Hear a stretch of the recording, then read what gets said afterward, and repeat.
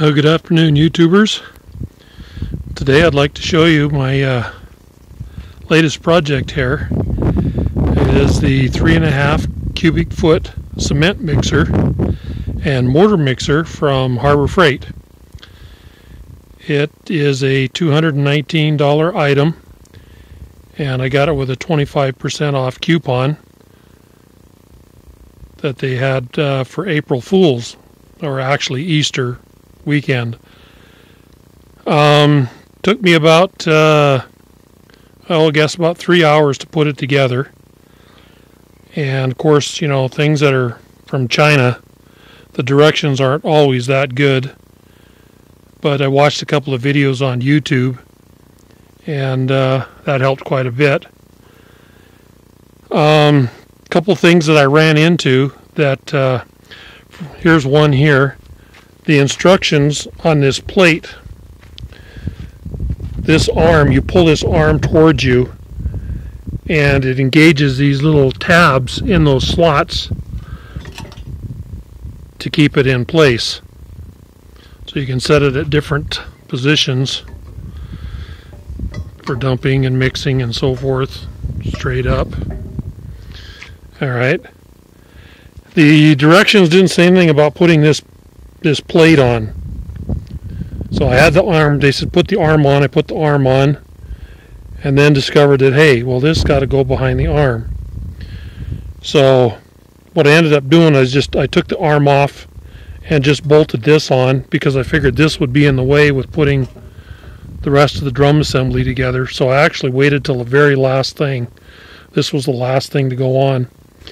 And also something in the directions, it doesn't show and it doesn't say, is there's a spring here, okay, that goes inside this tube and you can adjust the tension with this bolt here, okay. This keeps the arm engaged in those slots so that when it's turned on and it's rattling that uh, it doesn't pop itself out. So you adjust this it gives more tension on there in case this thing is, is coming loose. But up inside here, there's a little round metal disc. It almost looks like a, a washer with the hole not punched in the middle. It's just solid. It's a disc, a little disc. And it goes up in here first and then the spring. That gives the bolt pushes on the disc, which pushes on the spring. Without that disc, the bolt would just go right down the center of the spring and there would be no tension adjustment and it's in one of the little packages, uh, and it's not talked about or shown anywhere. But but that's what that little disc is for. It goes in here. You put it. This will be upside down. Drop it in there. Put your spring in. Set this in place. Okay. And uh, yeah, first you start out with this piece here, and this piece here goes across and this leg with the handle. You end up putting these bolts in and these bolts, and then there's one on the end, down on the end down here, and down here. There's one down there. Okay, and I put the washers behind the head of the bolt. Okay, because these nuts are uh, like a locking nut they kind of bite into the metal and lock. So I put the washers on the other side. Um, this mechanism here has a washer. It has two nuts. You put the one nut on, you squeeze. This is going to be a little wider than you kind of just squeeze it down when you take a wrench and a and then when you're done you double nut this there's two nuts you double nut it so it doesn't vibrate loose that's the purpose of the double nut Okay. And uh, one thing to mention was these pipes on the end down here where the wheels go on, the wheels wouldn't go on because these ends were, one was damaged a little bit. You probably see it right there. And the one on the other side, when they punched the hole in, it didn't punch right. The metal was pushed up.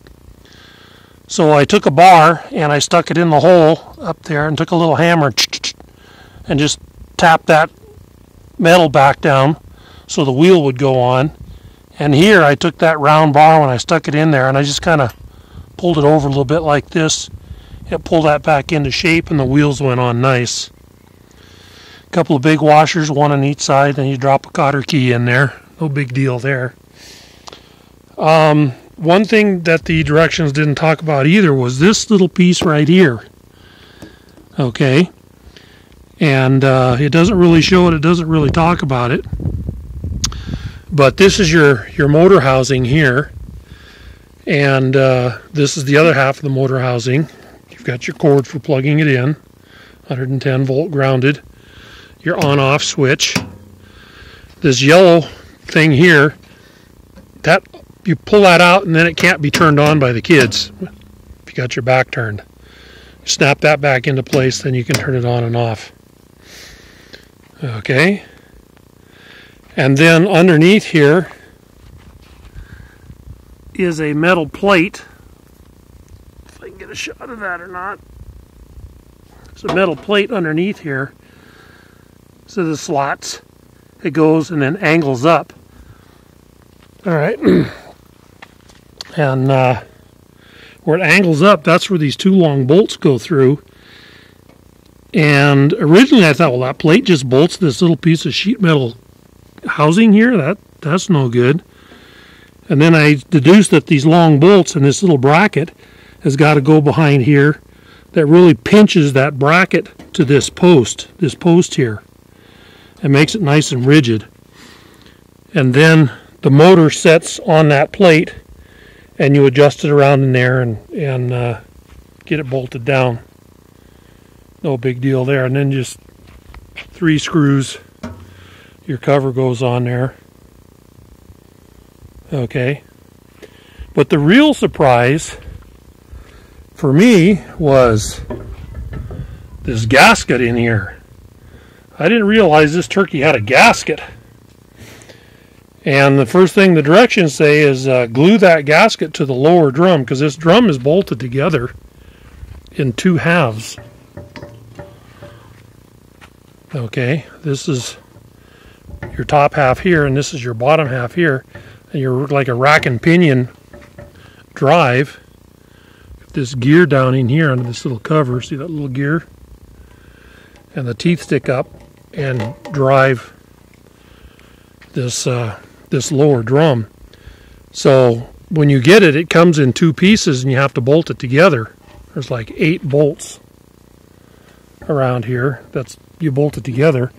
And then a gasket to keep it leaking. And it said, it said uh, use some gasket glue to to hold that on the on the upper half here, and then set it. Have this thing up and then set the upper part. Of course, these blades aren't on yet. Put that on, and then put your nuts and bolts and things around the perimeter. And uh, it says that that glue is not supplied. I go, oh, okay. I don't have any glue. Well, anyway, what I did was I thought about it for a while, and it came to me. What I did is I set the drum, the top drum on top, and then I went inside with the gasket and I stuck it I, with my right hand. I lifted up little bit on the, the upper drum, slipped the gasket in till I could see the holes align, and then dropped a bolt down. And I just went around on the inside with each bolt, lifted up, get the gasket in place where I could see down through here. I could see the gasket hole, and I just dropped the, the the bolt down through there. Just went around and did that. And then after I had uh, had all those just drop down in there, I went along and I picked it up a little bit because the gasket was really kind of wavy. In between the bolts, it was sticking out a lot more than where the bolts are. So what I discovered was, is you pick this drum up and push the gasket in a little bit in between the bolts, kind of lift it up and push it in. It kind of sits that gasket actually, if you can see it there, the gasket sits on top of those little uh, protrusions where this metal was stamped through these these teeth. There's like teeth sticking up inside, and that gasket has to sit